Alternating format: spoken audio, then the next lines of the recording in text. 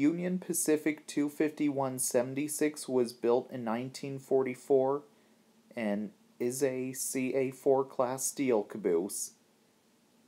This caboose was one of the many steel Union Pacific cabooses used behind freight trains on the Union Pacific line, and it was used behind freight trains in the past.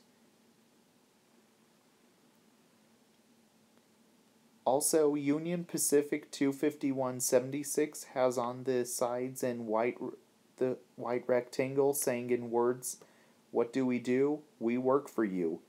Union Pacific 25176 was then renumbered as Union Pacific 3876 in 1959, then went back to its original number.